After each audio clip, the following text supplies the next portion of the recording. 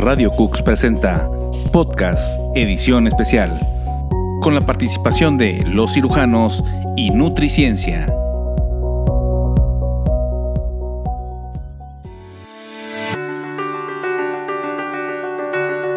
¿Qué tal amigas y amigos de Radio Cooks? Bienvenidos a este programa especial.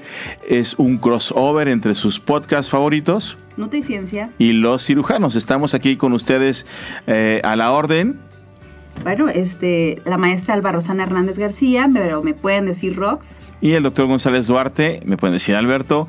Estamos muy emocionados porque el día de hoy tenemos un programa muy, muy especial, maestra. Sí, bastante interesante. Creo que eh, es una, un punto de unión, de convergencia entre especialidades y más que nada algo que nos puede aterrizar a todo nuestro público en la importancia que es más que nada la alimentación en procesos quirúrgicos. Y bueno, vamos a, entrar de lleno con este tema, platicando algunos puntos y, experiencias que, nos pueden llevar en común al doctor Duarte y a, mí, pues, pero creo que va a ser muy interesante para todos. Definitivamente, eh, maestra Rox, va a ser eh, de verdad eh, interesante y yo creo que muy útil, amigas y amigos de Radio Cooks, porque son de repente temas que todo mundo se pregunta, oye, ¿qué va a pasar si yo me voy a someter a una cirugía? ¿Es importante la nutrición? ¿No es importante? creo que la respuesta es obvia, pero ¿qué tan importante es y qué tan, tan profesionalmente hablando deberíamos de, abordar esa situación y que de repente tristemente no es algo que, muchos profesionales de la salud eh, le presten atención. Em, y bueno, de verdad, yo estoy muy agradecido, eh, Rox, yo creo que, hablo por los dos con la producción de Radio Cooks por este, este tipo de colaboraciones donde vamos a tener, pues esto, ¿no? El complemento de nutrición clínica y en este caso los cirujanos y los invitamos, eh, cierto maestra, a que eh, escuchen también las otras colaboraciones multidisciplinarias que habrá en Radio Cooks, ¿no? Así es, creo que el hecho de, ver estos puntos de, de unión entre las disciplinas nos hacen ampliar nuestro panorama y verlo desde otras perspectivas, ¿no? Este, a veces que estamos en nuestro propio espacio, nuestra propia especialidad y no vemos los ojos que de los que ven el otro profesional y bueno, también nos queremos poner en, el lado del paciente en este caso, ¿no? Queremos eh, llegar hasta este, este hogar o a este lugar donde nos están escuchando y que, bueno, tengamos esa empatía de saber qué siente un, un familiar o una persona persona que se va a intervenir próximamente y que a lo mejor no considera qué va a comer antes, qué va a comer después y por qué se hace eh, cada tipo de restricción, ¿no? Porque hay veces que dicen, no, pues es que me quitaron, no puedo tomar ni agua, pero ¿por qué y en qué momento sí se puede? Entonces creo que aquí vamos a aclarar algunas dudas, vamos a hablar un poquito de general, porque sabemos que aquí no se puede hablar de todo lo particular, pero sí podemos hablar de aquello que todos tenemos en mente sobre una cirugía. Así es. Y no sé, maestra Rox, si, si me permites empezar, eh, creo que sería prudente eh, puntualizar los tipos de cirugía que hay. Digo, es, es muy amplio el, el, tema. Podríamos hablar horas del tipo de cirugías que hay o de todas las estrategias de nutrición que podemos considerar. Sin embargo, a grandes rasgos, amigas y amigos de Radio Cooks, podemos hablar que tenemos eh, tres tipos de cirugías, ¿no? En general. Las cirugías eh, que son ambulatorias, las cirugías que son o que requieren eh, un manejo hospitalario o las intervenciones menores que se pueden hacer en, básicamente en un consultorio y que realmente no se requiere mayor preparación. yo creo que nos enfocaríamos sobre todo en las ambulatorias y en las intervenciones mayores, maestra, para que em, pues no sé, eh, enfocáramos nuestra, nuestras energías en, tratar de dar los mejores consejos y, clarificar un poquito por qué, como mencionabas hace ratito, por qué en algunos procedimientos ayuno ni agua puedes tomar y por qué en otros a lo mejor puede haber como que esa laxitud en, eh, o, esa relajación en que pueda haber un poquito más de, opciones de, nutrición. Eh, Rox, no sé qué, dirías al respecto. No, específicamente, como dice el doctor, creo que tenemos que ser muy claros en que no, no en todos los casos es la misma recomendación y, la, y aquí es donde la nutrición se vuelve, se parte, ¿no? La particularidad da en el tipo de cirugía, el tipo de persona eh, y la enfermedad que tiene de base incluso, o sea, normalmente no llegas a una cirugía en excelentes condiciones, nutricionalmente hablando, ni, ni, en general como de salud, ¿no? O sea, por ejemplo, llega una persona que, que a una intervención, pero anteriormente pues también tiene diabetes o tiene una enfermedad crónica de hipertensión. Y bueno, además de esto, pues también puede ser que, que sea, tenga desnutrición, por ejemplo, porque bueno, este, no, o malnutrición. Que por sí sola es una enfermedad, ¿no? Exacto. Por sí sola es una enfermedad. Llegan mal a la cirugía y pues ahí les va diferente a otra persona que a lo mejor es en otras condiciones. Esto que mencionas, Rox, creo que es, es, lo más importante, amigas y amigos de Radio Cooks. A ver, sí, va a ser una cirugía ambulatoria, va a ser una cirugía mayor, eso creo que queda claro. La ambulatoria es la que se hace de entrada por salida, no tienes que estar hospitalizado, y las cirugías mayores normalmente estás eh, por lo menos 24 horas hospitalizado. Bueno, independientemente de la cirugía que se trate, tenemos que poner en el centro el estado nutricional del paciente, ¿no? No le va a ir, no le va a ir igual a un paciente que está plenamente nutrido a un paciente que, como mencionabas, Rox, esté en malnutrición o literalmente desnutrido. Entonces es muy importante que esto, amigas y amigos de Radio Cooks, lo platiquen. Si ustedes se van a someter a una cirugía, lo platiquen con su cirujano. Si son de los que acuden, eh, ojalá sean la mayoría, pero lo dudo, pero eh, que son los que acuden a consulta con nutrición o, con una nutróloga o un nutriólogo, eh, platicarlo con ellos previo a su procedimiento quirúrgico, ¿no? Y, en la malnutrición, Rox, no sé si podrías ampliar un poquito más qué tan frecuente es, porque creo que se van a sorprender las amigas y amigos de Radio Cooks, ¿no? En realidad, cuando hablamos del término malnutrición, nos habla de un estado nutricional en el que puede haber excesos o puede haber deficiencias.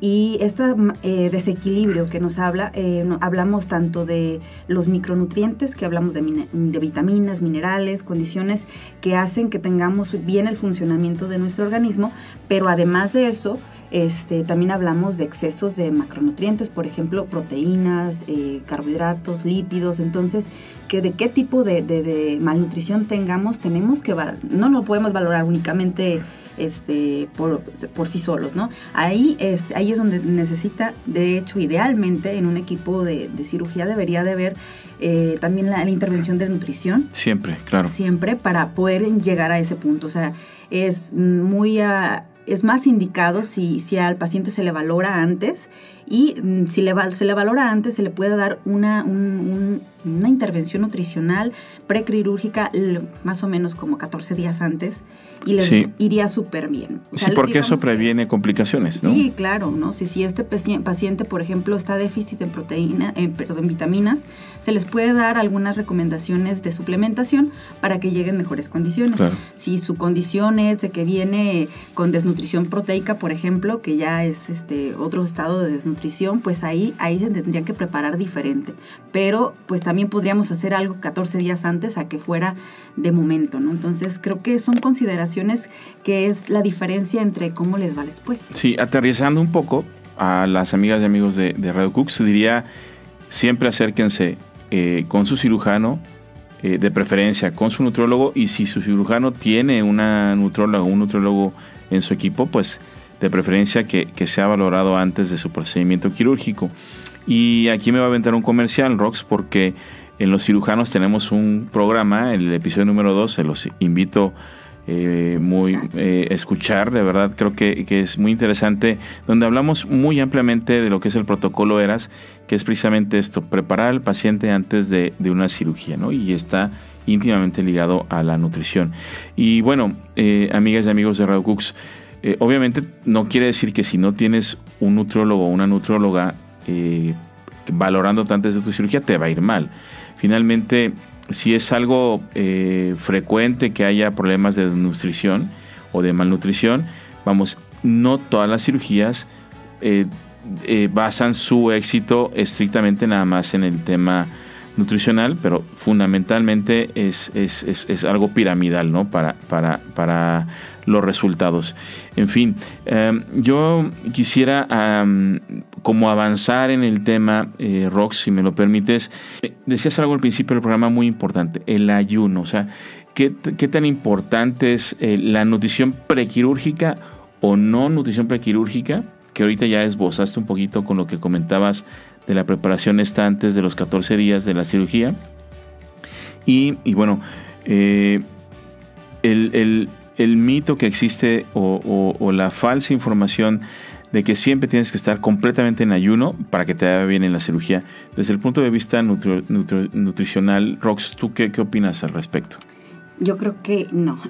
bueno, el ayuno es importante, en, eh, sobre todo sabemos que en algunas cuestiones relacionadas con la anestesia, cuestionadas con la intervención y el tipo de intervención. Sobre todo en la cirugía gastrointestinal, ¿no? Exacto, pues, no, no, no, voy a mentir ahí. Entonces, pero sin embargo, cuando hablamos de, de la preparación en cuestiones eh, de la reserva energética que puede tener y que a lo mejor durante la intervención quirúrgica se tiene un estrés tanto en el momento como postquirúrgico. Entonces, si este paciente tiene una preparación nutricionalmente no tan cargada y más adecuada a lo que le van a realizar, ahí este, la diferencia son entre las horas, ¿no? ¿Qué tanto ayuno tuvo eh, durante, antes de, la cirugía?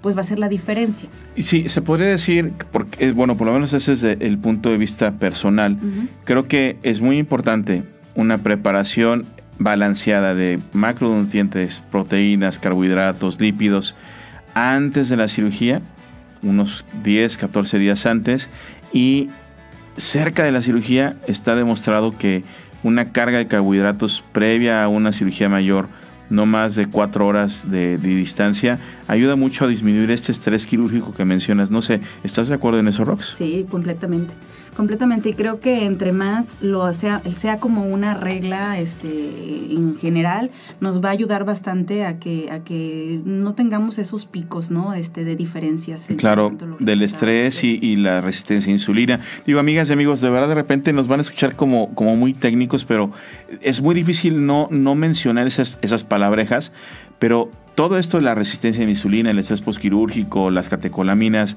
que se liberan durante una cirugía es muy importante. Y, aunque no lo crean, nutricionalmente hablando, podemos tener preparado a nuestro paciente para que durante ese estrés, durante esa, reacción eh, biológica que presenta nuestro cuerpo durante la cirugía, nos vaya mejor, ¿no? nuestro cuerpo tenga más herramientas, ¿no, maestro Robs? Sí, eh, definitivamente, doctor. Creo que pues por ahí el buen manejo antes eh, y el estar de acuerdo también en el equipo, porque mucho del éxito creo que tiene que ver con el estar de acuerdo o converger, como en este caso este, estamos platicando. Es importante que su cirujano y el equipo nutricional estén, estén de acuerdo en para qué y estén también muy conscientes de, que la colaboración de ambos va a hacer que el paciente pues le vaya mucho mejor. Definitivo. Y amigas y amigos de Radio Cooks, las tendencias actuales es a que el ayuno cada vez sea menos prolongado. Antes había ayunos de 8 horas. El año pasado, una experiencia personal, operaron a mi hija de, de año y medio. Y, o sea, tú sabes lo que es tener a tu hija de año y medio, a una bebé de año y medio cuyo cuerpecito es 80% agua en ayuno por siete horas. o sea, eso es ya no debería de usarse, pero bueno, eh, son cuestiones que, esperamos poco a poco deban de, ir cambiando.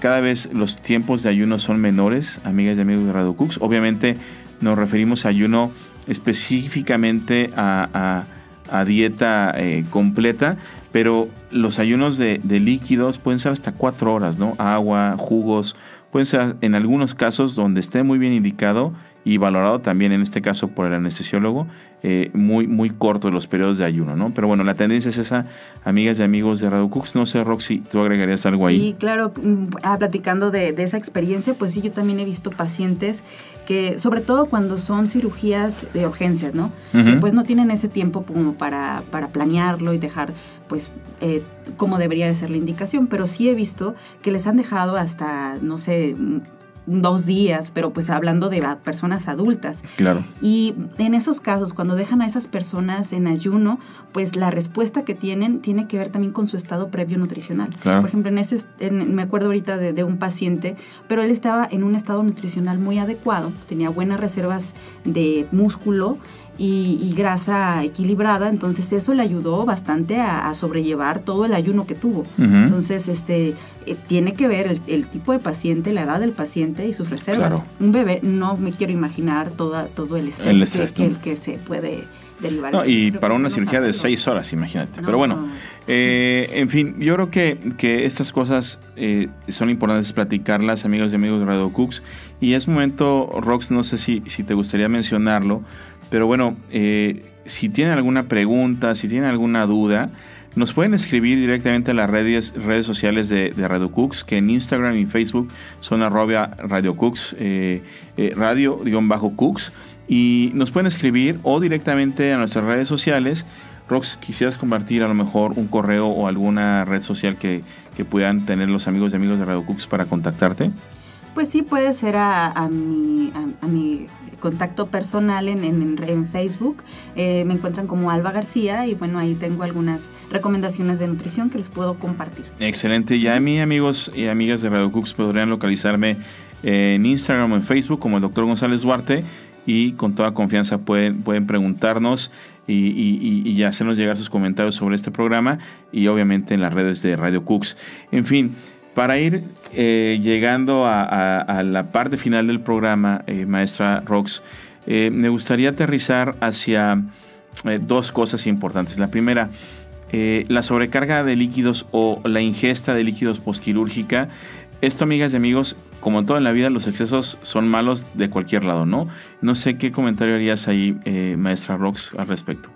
Em, creo que por ahí podemos eh, abordar la duda que, en general, bueno, a familiares o, personas que he visto que están en, proceso de intervención, eh, les llama mucho la atención de que, oye, pero no me dejan, no está indicado darle líquidos, no sé por qué no me dejan, este, yo nomás quiero un... Mojarle los labios, sí, ¿no? Entonces es muy común esa duda que tienen los pacientes. Entonces, eh, no es por ser malos, no es por, este, por restringir o relacionado con con lo que hablábamos hace un momento del ayuno, no es lo mismo, tiene que ver con otras complicaciones.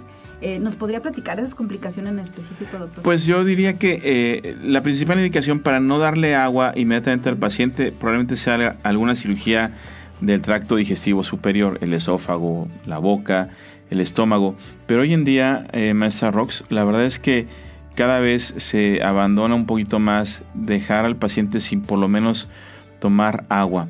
Eh, sobrecargar a un paciente con líquidos en la vena es peligroso, ¿no? Puedes poner en riesgo la cicatrización de las heridas, la cicatrización de las anastomosis o de las conexiones que hacemos intestinales.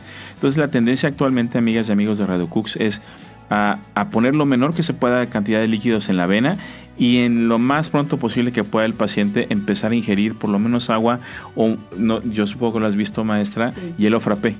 ¿No? Eh, que, incluso tiene beneficios hasta de estimular eh, la absorción, el peristaltismo, eh, los movimientos intestinales y, tiene cosas muy, muy positivas, ¿no?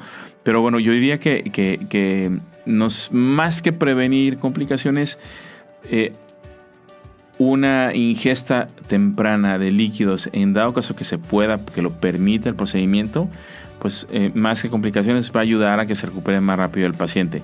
Y por lo contrario, si ponemos muchos líquidos en la vena, eso sí puede ser una complicación, ¿no? Sí, claro. Cuando, sobre todo cuando ya tiene también, porque también podemos hablar de eso, ¿no? un soporte nutricional hablando se refiere cuando ya se trata de una eh, una medida para dar alimentación al paciente que no es vía oral. Entonces podemos, ya sea vía enteral, que todavía a lo mejor eh, utilicen su vía oral, pero pues ya con diferente tipo de alimento que, pare, bueno, de alguna forma decirlo es como un licuadito. Una dieta polimérica, sí. Una dieta polimérica, pero también hay otras formas en donde ya se pasa por otras, otras, otras vías, por ejemplo, una sonda nasogástrica o ya se tiene que hacer una intervención para poderlo este, pasar por otra parte del tracto digestivo. Entonces creo que ahí es donde podemos hablar de un soporte nutricional que ya no lo puede hacer directamente el paciente por su... Claro. No, los sistemas especializados de nutrición, yo creo que tardaríamos también una semana hablando de ello, pero eh, que es precisamente a lo que se refiere la maestra Rox, amigas y amigos de Radio Cooks, que es, es esto, eh, alguna otra estrategia muy especializada con sondas, con catéteres, que definitivamente, definitivamente eh, se pueden utilizar, pero bueno, ahorita en este programa no lo vamos a abordar. Todo eso. es, bastante amplio. Pero, creo que está bien comentarlo, ¿no? Entender que cuando hacemos, cuando se hace una cirugía, se, se hace parte de que la alimentación tiene que ser sí o sí por donde se pueda. Yo creo que ese mensaje que está quedando claro, amigas y amigos de Radio Cooks, siempre eh, una valoración nutricional antes de su cirugía o durante la, eh, su estancia eh, hospitalaria y en vías de que ustedes como pacientes, nosotros como pacientes, lleguemos lo mejor preparados nutricionalmente hablando a, una, a un evento quirúrgico. Y ya para cerrar, porque bueno, el tiempo vuela en radio, Maestra Rox, y, no queremos quitarle mucho tiempo a los amigos de, Radio Cooks y queremos que escuchen los otros episodios de Nutriciencia y de... Y Nutriciencia y de los cirujanos. Exactamente. Eh, y, me gustaría que aterrizáramos hacia... Em, esto me lo preguntan todo el tiempo los pacientes en el consultorio o después de una cirugía. Doctor, ¿y qué puedo comer? ¿No? Es que me dijeron que no coma después de mi cirugía irritantes, que no coma grasas, que aguas con la carne de puerco y que los embutidos. Bueno, amigos, una cosa de, todo, ¿no? Que seguramente ustedes mismos también lo han pensado, amigas y amigos de Radio Cooks. La realidad es que eh, la progresión de la dieta qué puedo comer y qué no puedo comer, hoy en día eh, es prácticamente eh, demostrado por la ciencia que podemos comer de todo después de una cirugía. Obviamente habrá alguna restricción dependiendo del tipo de órgano que esté afectado. Pero en general, si te operan de apendicitis, de un problema de vesícula, de un problema de hernias, prácticamente un problema de tu matriz, cosas así, prácticamente ese tipo de cirugías puedes comer eh, la mayoría de los alimentos sin ninguna progresión programa, porque te decían primero toma líquidos y luego después de dos tres días de líquidos luego come normal. Pero bueno, creo que eso ya, no sé qué opines, maestra Rox, creo que ya está quedando en desuso, ¿no?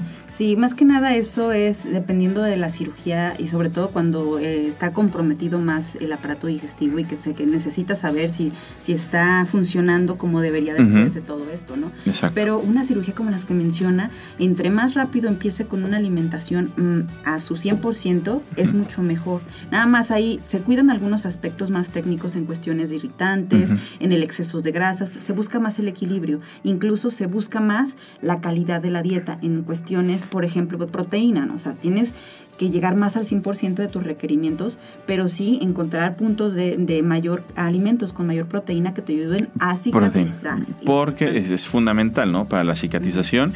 Y, tenemos satanizados a las grasas, a los irritantes, pero nunca hacemos caso, eh, maestra Rox, amigas y amigos de Radio Cooks, al verdadero enemigo, los carbohidratos, ¿no? O sea, los carbohidratos pensados que los podemos comer como sea, no, hay que comer carbohidratos de calidad. Y uno no sé, maestra Rox, ahí creo que podrías ampliar un poquito más, ¿no? Claro, calidad cuando hablamos nosotros nutricionalmente es eh, en base a aquel nutriente que realmente te va a servir y no te va a hacer como el eh, ruido, ¿no? No te va a retrasar, ¿no? te va a retrasar. En este caso... Te va a ayudar a cicatrizar mejor, se va a absorber más rápido, etcétera, etcétera. ¿Cuáles pueden ser esos carbohidratos? Los carbohidratos en general todos los necesitamos, claro, pero hay carbohidratos complejos y hay carbohidratos más simples, que son los que rápido, se les llama simples por su rapidez en absorción, de Exacto. hecho. Pero este, cuando hablamos de complejidad, hablamos de, aquellos carbohidratos que se retrasan un poquito en, absorberse, pero esa lentitud progresiva hace que nosotros los vayamos aprovechando como se necesita. Y también, eh, pues estamos hablando de, por ejemplo, eh, almidones, por ejemplo, ahorita se me viene a la mente la avena, el arroz, eh, la tortilla, que la tienen tan satanizada. Ah, exacto. realmente, pues, no comas tortilla. no, no, son, son carbohidratos adecuados. Los que estamos hablando de los simples, que son rápidos y veloces, para, para absorberse, pues en esto hablo del azúcar. Creo que todos conocemos las fuentes de azúcar, por ejemplo, el refresco o las bebidas este, industrializadas cualquier bebida, incluso los, los jugos naturales, que, que, le quitan toda el azúcar de la fruta. No lo están viendo ustedes, pero la maestra hizo naturales entre comillas, ¿no? Exacto, sí, casi todo entre comillas, porque realmente lo que tenemos en el mercado muchas veces pues tienen otras cosas además de, de, lo que dicen ahí. No hagan caso de todo. En, general podemos hacer más parte de si vamos a comer, eh, queremos comer un jugo de naranja, preferir mejor tomarte, comerte las naranjas, ¿no? Claro. Con toda la fibra que tiene, que tiene, te va a La pulpa, claro. Cuando hablamos de carbohidratos de calidad, hablamos de todo lo que tiene ya la fibra integrada, porque la fibra va a ayudar bastante, la fibra dietética, a que te recuperes mejor e incluso a que vuelvas a proliferar estos, eh, eh, esa microbiota que estás perdiendo durante una intervención. Entonces, bastante eh, es de hablar del tipo de carbohidratos porque pues ahí te va a dar una diferencia, ¿verdad? Pues amigas y amigos de Radio Cooks, creo que el mensaje está claro. La nutrición eh, en, en, procedimientos quirúrgicos, previo a procedimientos quirúrgicos, es fundamental. Eh, lo ideal, si te vas a someter a una cirugía eh, mayor, una cirugía que va a requerir una intervención por parte de un cirujano y una recuperación de algunos días o algunas semanas, pues es que llegues a esa cirugía con una preparación nutricional adecuada. Y evidentemente nuestro consejo de nutriciencia y de los cirujanos, pues es que ustedes se acerquen a su cirujano, le pregunten a su cirujano sobre eh, los temas nutricionales, así sea incluso una cirugía estética, creo que vale mucho eh, eh, la pena también comentarlo. vas a tener mejores resultados si estás mejor nutrida. Sí, creo que aquí es mucho de platicar el apoyo que se tiene entre el equipo, ¿no? El, equipo multidisciplinar y por eso es que este episodio nos eh, se nos hizo muy eh, pues interesante a ambos porque da a, comprender o a esta alusión de que siempre en equipo multidisciplinario se van a tener mejores respuestas que cuando hablamos por sí solos, ¿no? Ya nos han escuchado nuestros programas en, individual, bueno, los que nos han escuchado y cada, cada uno hablamos de nuestro de, nuestra trinchera, ¿no? Y a lo mejor se nos hace tan cómodo, pero ya cuando hacemos esta unión o este equipo, a veces es difícil llegar al punto, pero a nosotros se nos hizo muy fácil. Creo que eso eso es de, pues de felicitar y también de notar en, en, el equipo con el que ustedes vayan a intervenirse. Entonces, pregunten con su cirujano si se trabaja con nutrición y como y si no, pues contacten, contacten y hagan equipo para que entonces tengan esa esa mayor... Eh, ese beneficio, ese beneficio que se tiene, ¿no? Entonces, Excelente. Pues este, este tip solamente es para que se pueda eh, hacer en la vida cotidiana. Pues amigas y amigos de Radio Cooks, llegamos al final de este episodio especial, este crossover entre Nutriciencia y los cirujanos. Y la verdad les agradecemos mucho la maestra Rox, el doctor González Duarte, habernos escuchado porque eh, de verdad es enriquecedor y motivante tener este tipo de espacios, espacios multimedia. Denle like, compartan. Por favor, escuchen el, podcast y compártanlo con sus amigos y familiares. Nos despedimos. Bueno, pues nos vemos hasta la próxima y un placer estar contando nuestras, nuestros conocimientos o experiencias más que nada y que bueno, sea interesante para ustedes. Hasta la próxima, no se pierdan los demás capítulos especiales de Radio Cooks. Gracias. Radio Cooks presentó Podcast Edición Especial.